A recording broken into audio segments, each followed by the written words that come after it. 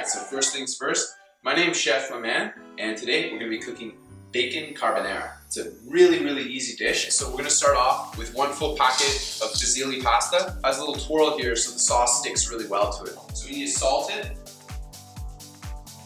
So the first thing we're going to do, crush each piece of garlic, three cloves. You just want to give it a rough chop. It's gonna give delicious, delicious flavor. It's aromatic. Nice cubes like this. So I've uh, removed the seeds. Gotta make sure, even though they're in the can, they don't remove the seeds most of the time. So I'm just gonna give it a rough cube. As you can see, my water's boiling. I've already salted it, okay? So we're just gonna throw the pasta in there. Try and keep it evenly cut so it all sweats out and renders all the fat evenly. Okay, so let's take this to the frying pan. Sweat it, get all the fat rendered out of this bacon, and that's what's gonna cook all our vegetables. Again, this is on medium heat, so we don't burn the bacon, because that's really important. You wanna make sure it's evenly cooked. Not much salt in this dish because the bacon already gives it a lot of salt, and we're gonna use Parmesan cheese at the end, so that'll season it pretty nicely. And that's gonna help bring out the spice, just adding heat to the chilies like that.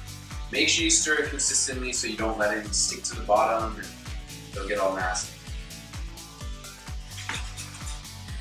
So now we're gonna add my aromatics, which is the garlic and the onion to that. You don't wanna do this on too high because you're trying to sweat the onions and make sure the bacon cooks really evenly.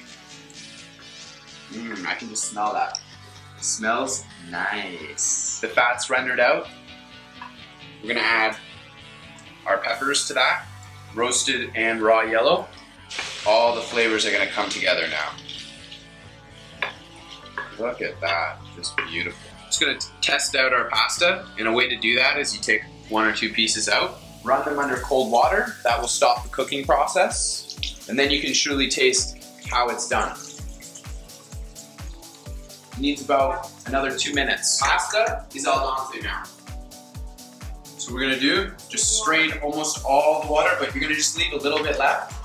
Add just a tablespoon of butter. And what that's gonna do is give it a real nice shine, and each piece is gonna be really nicely seasoned. You wanna use salt and butter for this. So if you find that there's not enough fat to cook the vegetables, add a little bit of oil to that. Olive oil would be good, uh, just to speed up the cooking process just a little bit. The sauce now is created when we add the cream. So we're just gonna let that reduce down, hit it with some parm. And this is definitely gonna be for seasoning. And you can see it's, it's starting to get thicker just a little bit, but once it gets to the right thickness, it's gonna coat those fusilli noodles very, very nicely. And you'll see what I'm talking about.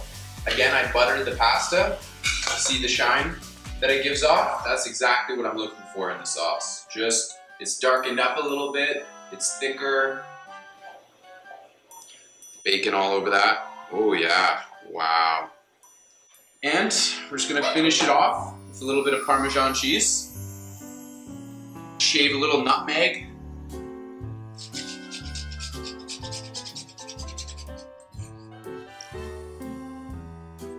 It's really good. I hope you enjoy.